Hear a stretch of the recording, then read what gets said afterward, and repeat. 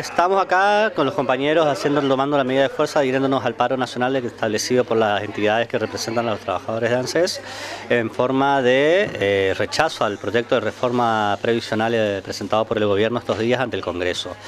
Eh, la oficina se encuentra en este momento con un 70% de adhesión al paro, como se pueden ver más adelante acá. En el salón estamos actualmente seis operadores nomás atendiendo en su momento.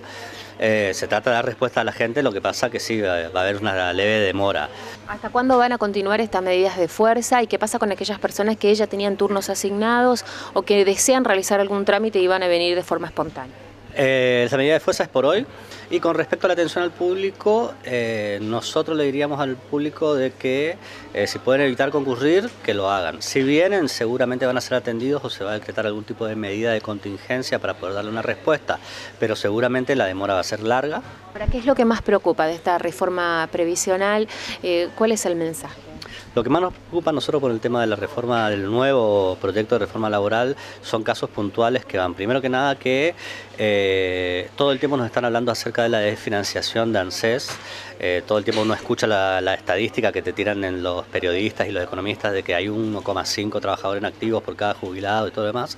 Nosotros lo que queremos dejar en claro es que el sistema ANSES no está quebrado está desfinanciado, pero está desfinanciado por medidas que se tomaron ya en el año 2016, ni bien asumió este gobierno, que fue la, quita de retenciones a las mineras, la quita de retenciones a la soja, la modificación de de la distribución del IVA, porque parte de lo que se recaudaba de IVA, eh, se destinaba a la caja de ANSES y hoy en día ya no es así.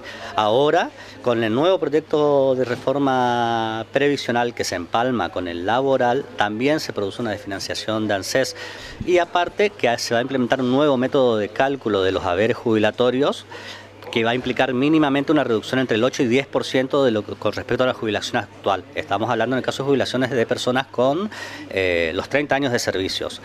También impacta otro tema que ellos también se están leyendo en la letra muy chiquita de lo que hasta ahora están diciendo que es el proyecto de reforma laboral, es que hablan de un famoso 82% móvil. Eso no es un 82% móvil sobre lo que uno cobraba cuando estaba en actividad, es el 82% móvil sobre el salario mínimo vital y móvil. También otro tema que con respecto a ese 82% móvil es que cualquier persona que hoy en día está en relación de dependencia trabajando y tiene un evento que lamentablemente fallece la persona que está, eh, que, está, que está trabajando, la persona que viene a solicitar la pensión por viudez ya no va a poder acceder al, a lo que era el 80% del salario de esa persona en actividad, sino que va a pasar a cobrar ese 82% móvil sobre el salario mínimo de vital inmóvil, lo cual incrementa todavía más la precariedad de las personas.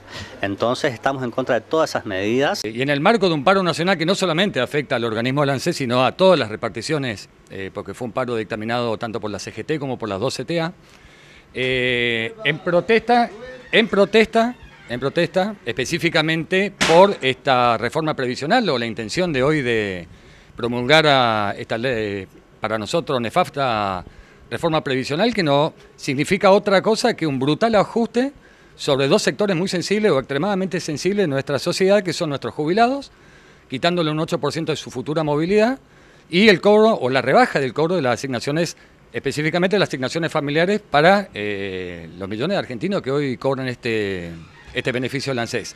Pedirle a nuestros legisladores provinciales, que tienen fuero a nivel nacional, nuestros diputados nacionales, que se fijen lo que van a votar. Porque realmente el mandato que le dio el pueblo a través del voto, a través de las urnas, fue para representar y resguardar los derechos de los trabajadores. Y específicamente por el sector más sensible que son nuestros jubilados. Así que se van a tener que hacer cargo de lo que hagan. Eso es lo que nosotros queremos recalcar como entidad sindical, porque está en manos de ellos el futuro de nuestros jubilados y nuestros eh, trabajadores que cobran las asignaciones familiares. paro estaba decretado para el día de la fecha. Este, no nos olvidemos que hoy eh, se trata en el Parlamento la reforma previsional, este, dura reforma previsional, este, regresiva absolutamente, en contra de los jubilados y de lo que menos tienen. Repudiamos esta actitud del diputado este, asquerosamente no puede un diputado de extracción justicialista pueda votar en contra del pueblo argentino y contra el pueblo chaqueño. Así que, diputado Mosqueda, nosotros desde acá le estamos repudiando su actitud. Hoy estamos en una grave situación donde nuestros beneficiarios tienen que entender de que estamos justamente defendiendo los derechos de ellos mismos.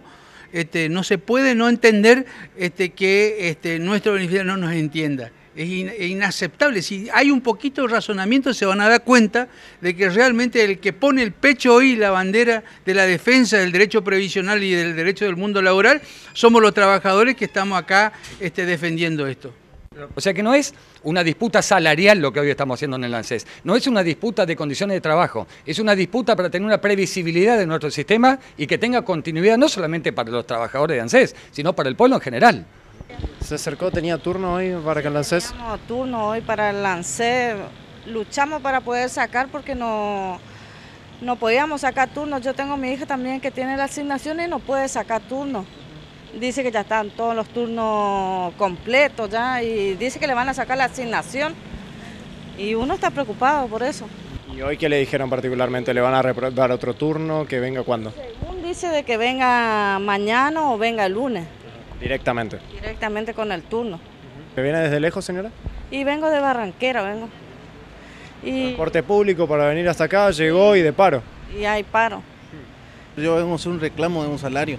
Hace como cinco meses que no me están pagando el salario y ni siquiera avisan cómo tiene que hacer porque uno no sabe la, situación. Para eso están ellos, para informarte en qué es lo que se hace, qué es lo que no. Cada uno tiene su trabajo y sabe explicarse cómo es. Mira, hace cuatro meses que no cobro el salario. Vengo casi dos veces por mes y tenés que hacer, sacar turno por, por, por internet, que es muy imposible sacar. Y yo tengo que dejar de trabajar hoy y varios días que tengo que venir para venir acá hay gente que viene de muy lejos, yo vengo de Maca, y hay gente que viene de Gancedo, de otros lados, que quizás que pena tiene el pasaje para hoy.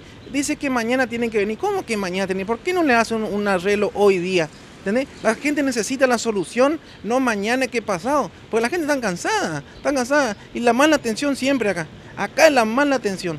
La policía, como la gente que están enfrente del, del, despacho, es una vergüenza como la atienden la gente mayores y, no puede ser que una gente no le respetan la gente mayores, ¿sabes? Se perdió la, la educación, acá en Argentina se perdió la educación.